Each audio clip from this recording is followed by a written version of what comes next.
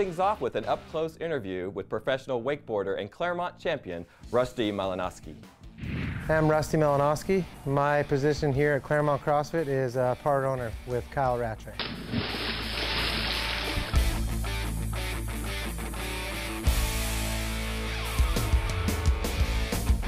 Definitely been very fortunate with wakeboarding. Had a lot of success. Two-time world champion, national champion. Uh, last month I was uh, representing Canada at the Pan American Games in Toronto and I took gold there, so it's been a heck of a ride. The 1080 for me, that was something that I was chasing really hard. Um, I was the first one to pull it off in competition, but I, at the time I was really the only one that had done it more than once, just even at practicing or whatever. So, you know, the day came in, in Reno and it all worked out and I landed it in the finals, which was uh, an amazing feeling just because I've been, I wanted it so bad and uh, tried it so many times in different competitions and actually, you know, probably cost myself winning competitions going for that trick. So when it all worked out, it was just like the most amazing feeling ever. The name Bone Crusher, it's a nickname given to me by uh, the head uh, announcer that's been on tour forever. Since, uh, since I started, I was always just more uh, bigger, physically than a lot of the other wakeboarders.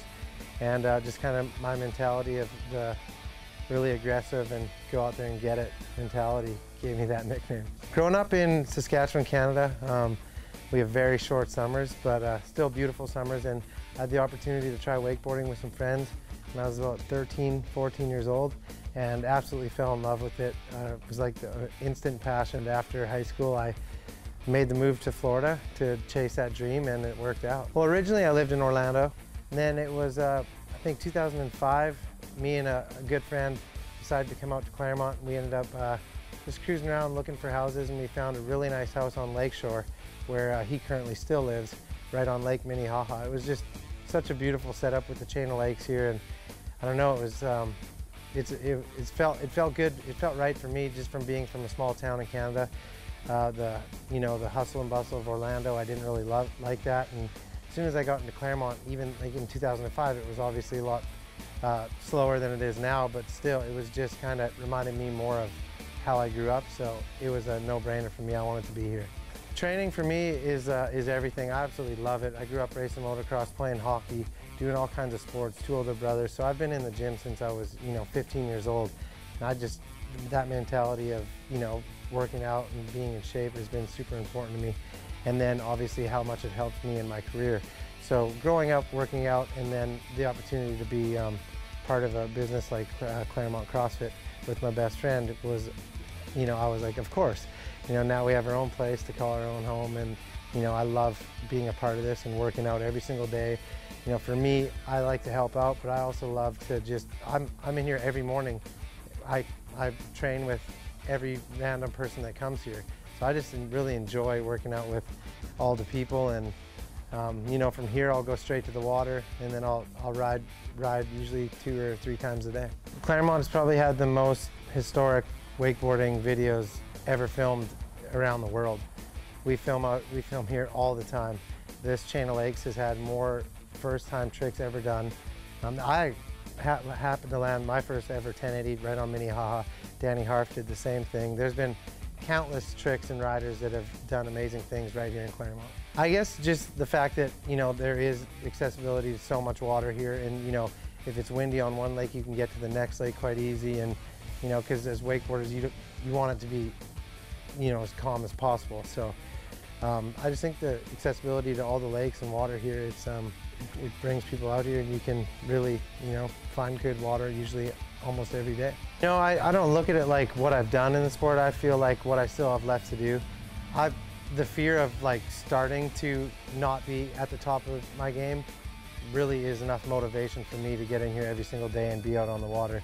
You know, I'm not one of those type of people that would, you know, ever bow down to being happy with like a 10th place overall or something like that.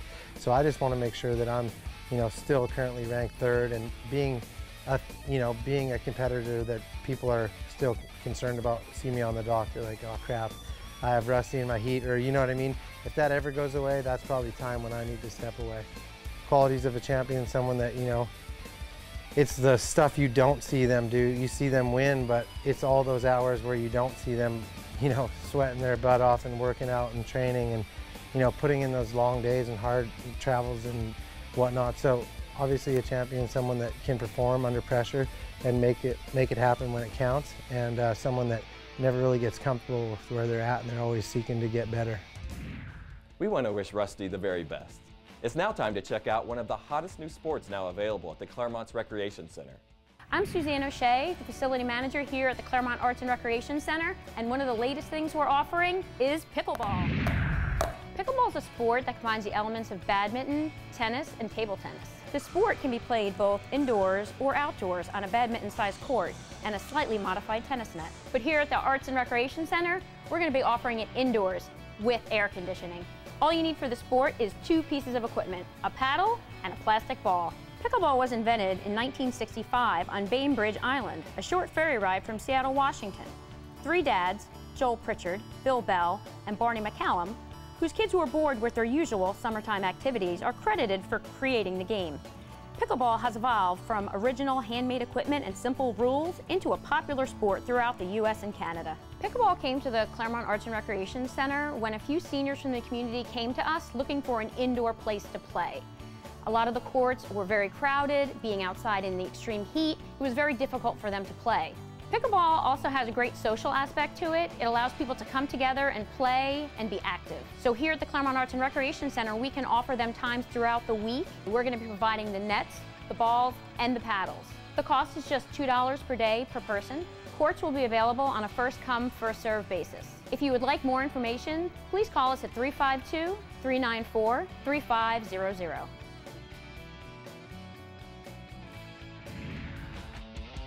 Coming up next, the Clermont Performing Arts Center will be hosting everything from Broadway to bluegrass.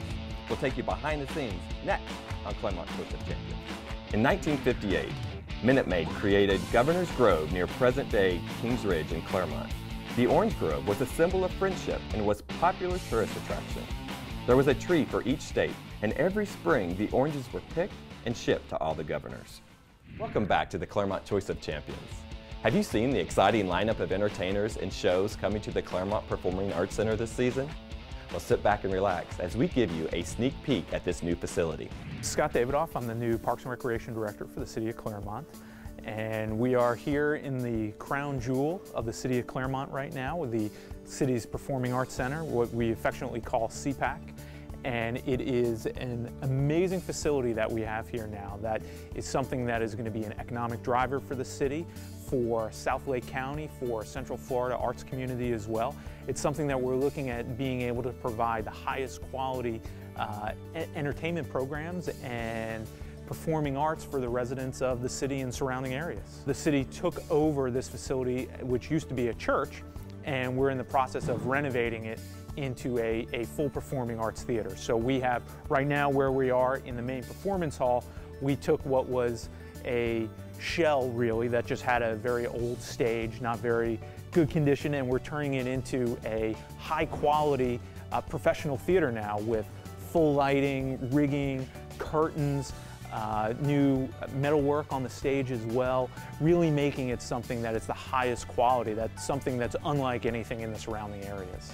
Right now what they're working on is finishing up some of the rigging uh, for the curtains and the jabots that will be hanging up above the stage so that as the performances are going on on the stage, everything is framed appropriately for the stage. The performers know where all their marks are. They're able to utilize that space. One of the other things is that the types of curtains that we have are the same curtains that you'll see in Broadway, uh, that you'll see there.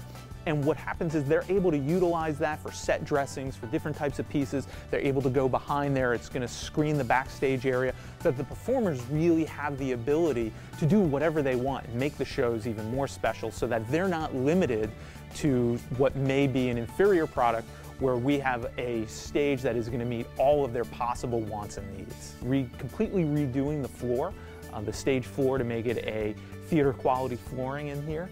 Uh, we are finishing right now the metalwork on the stage, so it gives it that pop that really makes it seem like it's something special, something that is out of the ordinary that really sets this facility apart from any place else. One of the things that we're very proud about is our lobby. So it's really the welcome into the facility. We've got a beautiful backdrop of the hills and, and uh, beautiful scenery behind you as you come into the facility and now you're welcomed into a sparkling lobby that has beautiful metalwork, that has wonderful um, areas throughout. You'll be able to see everything that's going on. We've got big screen TV in there that'll be showing information for all of our sponsors so that our sponsors are recognized. It'll be showing information on upcoming performances. And really it's a place for everyone to meet and greet and you'll be able to see your closest friends and neighbors and make some new friends while you're here and really have an opportunity to welcome the community in to, to what will be a premier facility in the area. Well, one of the things that we're able to provide is a appropriate green room and dressing room for all the talent that's in here. This is a first class operation. This is the crown jewel of what we're doing. And we want to make sure that the performers know that when they come here, that's the type of service that they're going to be able to expect and that they're going to receive. So we've made it very comfortable in their form. We've got beautiful flooring in there. We've got great lighting in their form. So they're able to do everything that they need and be comfortable in there and want to come back. We also have a rehearsal space, which is something that makes us more unique and very attractive to shows that are coming through the area. A lot of times these shows, as they're looking for rehearsal space and getting everything ready, they have to go outside of the area where they're performing. This way, by being able to provide that to them, and it's a beautiful facility with full-length mirrors, it's got a dance floor in there, a high-quality flooring, uh, we can put set dressings in there and backdrops and divide the room up however they're looking for. But what this will do is this will enable all the performers to stay here, to stay in Clermont, stay in Lake, South Lake County, and be able to utilize our facility as opposed to having to go someplace else, someplace you know closer to the Orlando side to take care of that. We're able to be a full service facility for them for the performing arts. Well, the Performing Arts Center really will have a, a big impact on the community in, in a number of different ways. Culturally, there's nothing like this. So we're able to bring in talent and performers and different types of acts that people may not have been exposed to.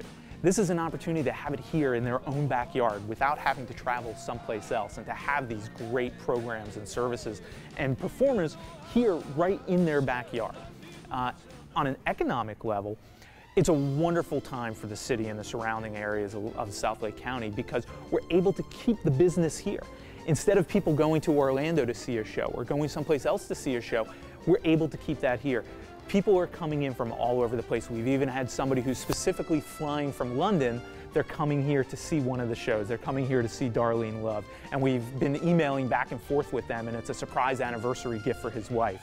And so not only are they coming to the show, but they're staying here in the local hotels. They're staying and they're eating in our local restaurants and they're shopping in our local stores and providing all that support for the local economy. And as more and more people come, it's just going to continue to grow and become a great economic driver for the city as well. What we have coming up in October is from October 7th to the 17th, we have Defending the Caveman, which is the longest running solo Broadway play. Then starting on October 18th, we have the Orlando Philharmonic with their focus series on the main stage, which features the music of Aaron Copland. And if folks are interested in more information, you can visit the website at www.clermontperformingarts.com. Coming up next on Clermont Choice of Champions, we're heading to historic downtown Clermont to experience high tea at Erika's Tea Room. We'll be right back. Clermont's first motorcade in 1916 included 20 cars and 96 passengers. Early pioneer C.O. Rowe was the pace setter in his Cadillac that carried the sign, We are from Clermont, Florida. Welcome back to Clermont Choice of Champions. We hope you're enjoying the show. Our next feature is our downtown update. Today we're taking you inside Erika's Tea Room to experience this quaint, unique place on Montrose Street. Its owners, Leela and Erika Shanoff, share their passion for the art and elegance of tea. Hi, I'm Lila Shanoff. And I'm Erika Shanoff. Welcome to Erika's Tea Room and Gifts in Clermont, Florida.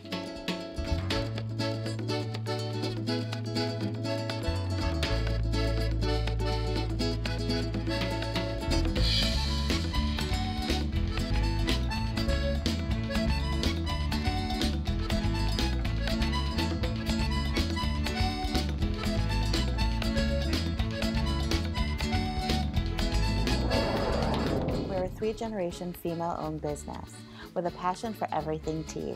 We have over 60 varieties of tea from all over the world, gourmet coffees to die for, and Dutch hot chocolate that will make you swoon. So creme brulee tea is one of our many dessert teas. We have on our menu of over 60 teas, we have about 15 that are considered dessert teas. All of our teas are loose leaf. They're all all natural, no preservatives, no sugar added. We have new teas coming in that are going to be vegan, which are matcha teas. We have latte teas, which already have the sugar and milk in them. But our dessert teas are a wonderful way to get children and then also to get new tea lovers or people to fall in love with tea. They're on the sweeter side. They have a lot of different varieties, things like almond sugar cookie, creme brulee, of course, which is my personal favorite, uh, coconut macaroon, or carrot cake cupcake. And some of them are even caffeine free, so people can enjoy them in the evenings without having to worry about having the caffeine and staying up all night. Well, we wanted to set this up very uniquely so somebody could come in and say, wow, look at all the teapots that you have. So we wanted it to be almost like a museum with the book built-in shelves and have every teapot under the sun. So as Erika would always say, there's no teapot left unbought. you know, somebody could come in from any different taste and, and find their teapot. When I was just a little girl, my mother and I would visit tea rooms as we would travel around the country and through Europe. And we would always stop and spend an afternoon at a little tea room in a little tea shop or looking for that experience to share. Growing up in New Jersey, for every special occasion, whether it be my birthday or my mom's, or for Mother's Day, or just for an afternoon outing, we would visit a little tea shop up there, and it was our mommy and me occasion. And um, as I've gotten older, uh, it just continued to be our mommy and me day out. And we even now, even owning our own tea shop, visit tea rooms as we travel out of state and as we go on buying trips. So we have this continuation and something hopefully someday I'll share with my daughter. I've been in a high pressure job my whole career, over 30 years in banking. I started small business units for many of the, the, top banks in the country. And um, it was, this is my relaxation, this is my retirement job. And I retired 20 years early from the world of education. And so it's turning our passion and our mommy-daughter experience into something that we can share with other people and make it a memory for them. Well, Erika was always a lovely little lady. She was uh, very well behaved, and we had a very good relationship from the time she was born. And it was just she was able to sit by a table from the time she was two and a half, and drink a cu cup of hot tea and eat the sandwiches that they gave her. Um, so it was it was a lovely experience. So once I tried it with her, it just continued, and it became a habit between the two of us. And what I wanted to do here is to make it a little more unique. So our finger sandwiches are different than what we experienced. So I took the best of all that we, we had and changed it up for what we do here. So I have special breads baked every day with crust on, which is unheard of in a tea room. I do my own type of quiche, which are like muffins, not the typical layers of quiche. Um, we make homemade soups every day, and I take it from my family background. Like today, I was telling you I'm making an unstuffed cabbage soup, so it's unique. We, we don't want to just copy. We don't want to be copycats. We want to do things our way. And the same thing, we make all of our scones and our desserts homemade, so we think outside of the box. We kind of put a new spin on an old tradition. Uh, we have quite a number of people coming from the UK and Scotland and Ireland to visit our small town. And when they stop in, they want a traditional plain or currant scone, and they're not going to find that here with us. We do things like creme brulee or Girl Scout thin mint, scones with little Andes mints sticking out in all directions. We do our special events like our Luau that's coming up, and we do a themed menu. So for our Luau, we're doing a white chocolate and macadamia nut scone, some very traditional that you would find in the islands of Hawaii, which we absolutely adore. It's one of our favorite places to visit. And we make it into something traditional like a scone. And that's what we really enjoy doing. It allows our creativity to run rampant. Many people feel that um, our themed events bring a little bit of culture to Clermont. It's not something that is touched on in any other location in the area. So uh, twice a month we have themed events, whether it be a tea tasting, which is an opportunity for people to explore six different teas with complementing foods, and get the education about the different types of tea, proper steeping, the history of tea, and the culture of it, to our themed events, things like Gone with the Wind. And Gone with the Wind, we do for our themed events a five course sit down meal. Each course we pair with a complementing tea because it always goes back to the tea. And then we also allow for people to have fun with the activities. For Gone with the Wind, we had a presenter who did What's Under the Dress. Then she did a reverse strip tease of the garments of the time. And it was an incredible experience because she actually talked her way through the different petticoats and the different layers and why they were important. And it was just a different spin on something that people would never think of. So from now until the end of the year, we have two events planned for each month. Coming up soon is our Doctor Who event. We have a Rocky Horror event, which is one of my most I'm looking forward to. We also have a Christmas Carol event for Christmas.